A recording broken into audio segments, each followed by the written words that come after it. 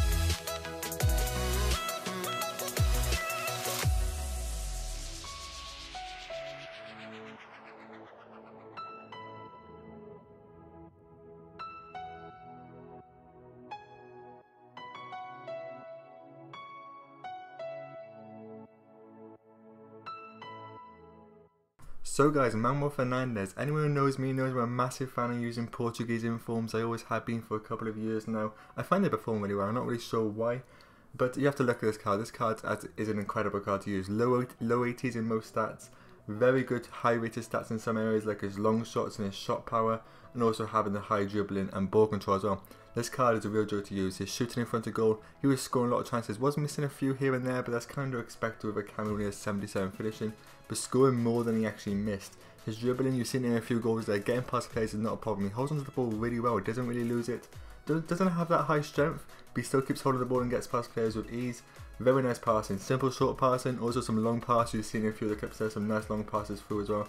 And defending, he made a few tackles, helped you on defence a few times, made chances happen. His link up play from defence to attack, I noticed that a lot. You've seen in one of the goals, he started it all from my own half went up there and scored it himself. The only real weakness he has is the main weakness you see as his league. Yes, he has a nice nationality to link him up to Portuguese players, but his league, being the Russian league, is not the greatest of leagues. There is some nice players there. If you're going into FUT Champs, you can't really use Russian league teams as you will struggle to win a lot of games. But nevertheless, he is a good card. He's costing around 28,000 coins. Happily pay 28 to 20,000 coins, and there's no problem there. He's a good card. He is worth it. Like I said, the only weakness he has is his league. Maybe use him as a super sub to bring on to close out the games for you, or even score a few goals for you. That 90 long shots and 90 shot power does help a lot there. I would definitely use him again, an 8.8 and 9 out of 10 for me. The only reason I didn't really give him a higher than a uh, 9 is due to the fact that his, his league does bother me sometimes. Getting into teams was an issue.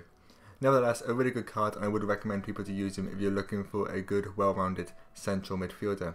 Anyway guys, I hope you enjoyed this review. If you did, please don't leave a like and subscribe if you're new and I'll speak to you next time. Peace.